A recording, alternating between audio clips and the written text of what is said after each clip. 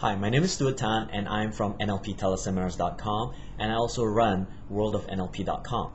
If any of you have queries regarding neuro-linguistic programming, how to utilize the NLP patterns there, uh, I'll be very happy to share with you. Now, basically, um, if any of you have seen my video on triggers, and you can go down to youtube.com slash Stuart Tan, um, you'll be able to see quite a number of uh, ideas that I've put together. Um, Neuro-linguistic programming focuses on the utilization of cognitive patterns. Um, a large number of those um, have got to do with cognitive behavioral uh, patterns. So those of you who have utilized uh, cognitive behavioral therapy before, you'll find NLP very useful in becoming an adjunct for the therapeutic me uh, methods that can be placed inside of your current practice. But all in all, Neuro-linguistic programming is not really directed to be um, therapeutic in nature. In fact, I would say that if you're using it just purely for therapy, um, I think you'll be quite sorely disappointed because there are so many more uh, things that you can do with neuro-linguistic programming that you might not be used to. So let me give you a couple of examples. I use NLP for the purposes of modeling. So I'll find people who are excellent models in a specific area. For instance, someone who is a, a top sportsman. Okay, I'll go find out what's going on inside his mind and I'll learn how to model that so that I can find out why he's so effective. Uh, another thing that I typically do is take a look at people who've got certain pathologies and ineffective patterns and I'll analyze those patterns so that I can find out how to change them. Like for instance, um, one of the issues is uh, debt reduction. Okay, there are a large number of people who don't know how to reduce their debt and I used to become, uh, I used to belong in those categories as well myself. So after modeling after people, I've discovered something about things to do with their emotional patterns.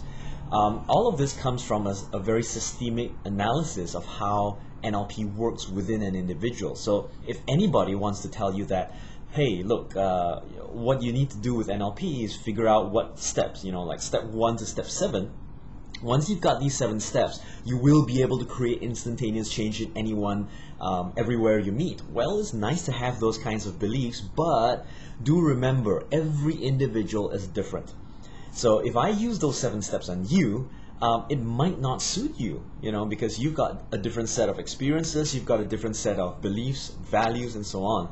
And I need to learn how you function so that I can find out what works for you and what doesn't. So anyone who's utilizing uh, standard methods of therapy are pretty much assuming the same thing. I don't think that they'll be able to be effectively reaching out to you and affecting you uh, as uh, as effectively as possible because the uh, process that they use is a pattern that is encased in some kind of a standard, you know, script. I do not believe that scripts work 100% of the time even if the scripts worked 100% of the time, they wouldn't work for 100% of the population. So if you want to become effective, you need to develop a high level of flexibility in understanding NLP patterns. Let's take for instance something known as the swish pattern. Some of you may have seen the YouTube Derren Brown video where he's using um, you know, a, a hand gesture like this and then a hand gesture like this. Now, when you notice my hand coming closer to you, it's basically utilizing something known as uh, an image submodality. What happens is that you shift uh, inside a person's mind a three-dimensional understanding of what's going on in the external world. Uh, my video on triggers actually explains that quite a fair bit. But when you're doing something like this, what happens is that your image begins to feel a little less solid, right? And you get a feeling of this. Uh, especially so when I take something like an image like this and I start moving it further away. And you might notice that a certain sensation that used to be solid, that when I take and move further away rapidly, suddenly the sensation disappears. You know, and you might not realize why that sensation disappears, but uh, at the same time, what you can do is bring back that real solid feeling and hold that there because for a lot of you, having a sensation of uh, solidness, having a sensation of fixedness, is something that uh, we tend to crave for. Human beings do not like uncertainty. So you think about it, uh, NLP patterns are very fixed and very standard in certain ways, but we focus primarily on process, meaning to say, if you are extremely depressed, I could use the switch pattern and utilize that process in order to aid you in uh, reaching whatever outcome that you desire. Let's say you want to become happy, you want to become uh, more, um, I don't know, motivated, right? Those are uh, emotional states that can be controlled.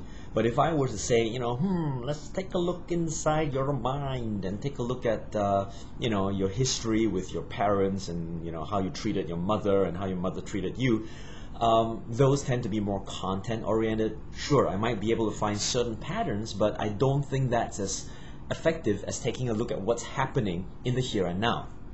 Well, neurolinguistic programming uh, therapeutic patterns are just one of the many things that you should do uh, and learn because uh, the other things that you should be doing would be modeling after people and figuring out what kinds of systems actually work in the modeling process. So um, if you are interested to investigate more of this modeling sequence, uh, rec I recommend that you head down to nlpteleseminars.com and join me for a teleseminar one of these days. Um, or head down to worldofnlp.com uh, where there's plenty of free information. And at the same time, I've got a couple of very, very long podcasts which are up there.